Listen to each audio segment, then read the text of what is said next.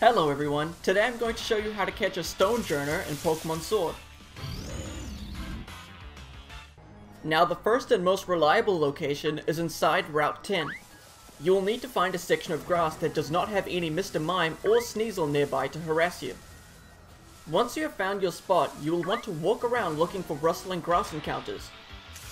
Each encounter you get has a 2% chance to be a Stonjourner.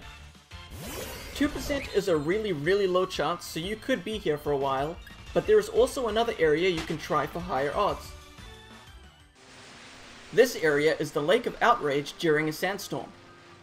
Here we will again aim for rustling grass encounters, but this time we have a 5% chance to get a Stonjourner instead of 2%.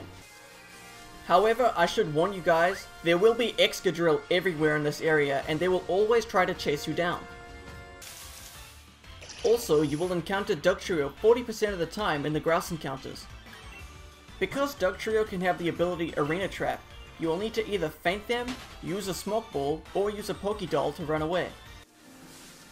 If you don't mind that inconvenience for two and a half times better odds, then this will be a better spot for you. Now to move on to actually catching Stonjourner. If you are on Route 10, you'll have to be very careful while weakening him because of the constant chip damage from the hail. I would say the best thing to do here is to apply a status effect to Stonjourner and then just start throwing Pokeballs. In the Lake of Outrage you don't have to worry about any damage from the weather.